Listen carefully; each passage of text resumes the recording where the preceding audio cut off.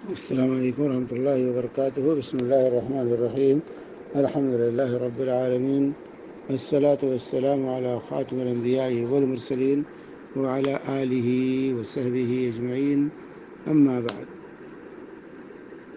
एक बहन लिखती हैं कि मेरे पांच बच्चे हैं और पांचवा बच्चा सिर्फ छः माह का है और मैं फिर से हामिला हो गई हूँ मसला यह है कि शुरू में मुझे इतनी उल्टियाँ होती हैं कि मुझे छः से आठ हफ़्ते तक अस्पताल में रहना पड़ता है।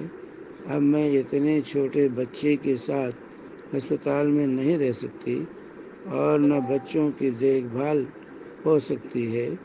जो सब छोटे हैं, मैं डिप्रेशन का शिकार हूँ और डॉक्टरों का कहना है कि मेरे जिस्म को ताकत पकड़ने के लिए मोहलत चाहिए।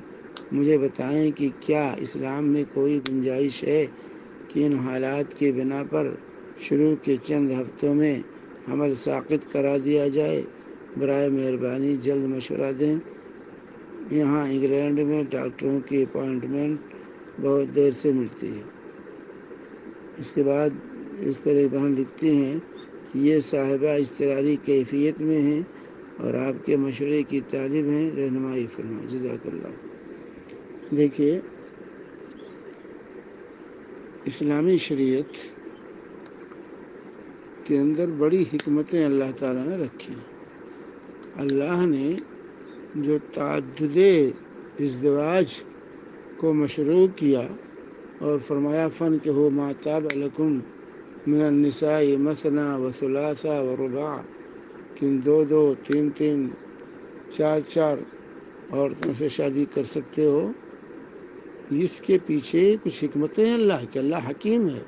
उसका कोई हुक्म, उसके कोई तशरी उसका कोई फैसला अलटप नहीं होता है। हमत के पेश नज़र अल्लाह ताला फैसले देते हैं। तो ताद इजदवाज में हमतें हैं। उन्हीं हमतों से एक हमत ये है, एक बीवी बीमार है तो इंसान के पास दूसरी बीवी है मौजूद। तीसरी मौजूद है।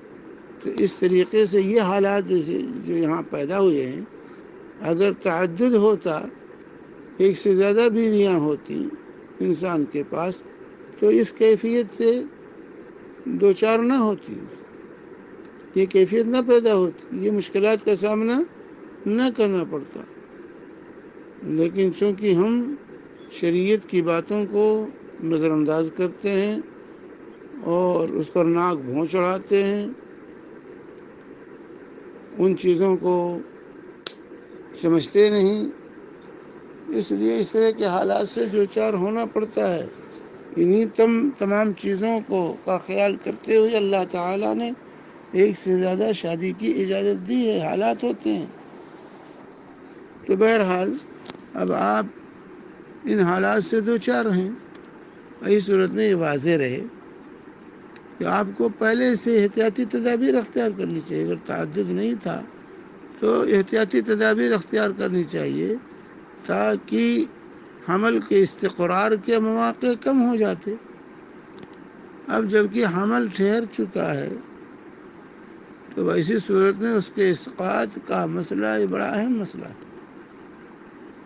इसकात असला जायज़ नहीं है।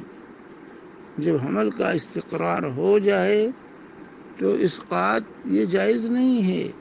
ये वाज होना चाहिए। इला कि ये हमल जो है, औरत के लिए ख़तरा बन जाए। और मुस्लिम अतिबा ये तजवीज़ करें कि जो है, ये हमल जो है ख़तरनाक है इस औरत के लिए। इस औरत की जान को ख़तरा है। तो ऐसी सूरत में उस औरत की जान बचाने के लिए हमल का इसकात जायज़ ये है असल मसला इस, जो है वाज होना चाहिए। जहाँ तक यहाँ इसमें सवाल जो है कि अस्पताल में रहना पड़ता है, बच्चे छोटे हैं तो बहरहाल इसमें घर में शोहर साहब ख़द्दामा भी रख सकते हैं बच्चों की देखभाल के लिए। इसी तरीके से अपनी रिश्तेदार ख़वातीन की मदद भी ले सकते हैं। ऐसे वक्त में ले आए, घर पे रखें, वो बच्चों की देखभाल कर, करें। और इन हालात में दूसरे का ताउन इंसान को करना चाहिए। तावन बिर तकवा, व तावन बिर व तकवा, वाला तावन इसमें रुदवान। नेकी और तकवा के काम में दूसरे का ताउन करो। तो जो है मसल मोमिन फ़ी तवाद तराहम के मसल जसदिल वाहिद। मुसलमानों की आपस में मिसाल, मोहब्बत की, प्यार की, लगाव की, ताल्लुक़ की, एक जिस्म की तरह है। तो अपने अज़ा अकरबा में से बहनें होंगी, माएँ होंगी, दादियाँ, नानियाँ होंगी तो ऐसे रिश्तेदारों को ले आए ताकि वो बच्चों की देखभाल कर सकें और जो है इस बात से हत्या बचना है इंसान को।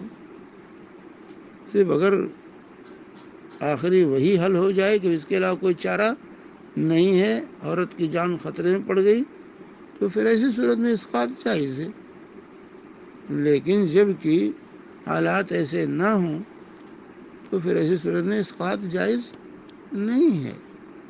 तो बहरहाल यहाँ जो आपने लिखा है कि छः से आठ हफ़्ते तक हॉस्पिटल में रहना होता है, बच्चे को लेकर कैसे रहेंगे कि बच्चे को जो है, घर में अगर ख़वातीन हैं, देखभाल करने वाली हैं तो बच्चे को घर में छोड़ दें। तो जो है, ये हल निकाला जा सकता है।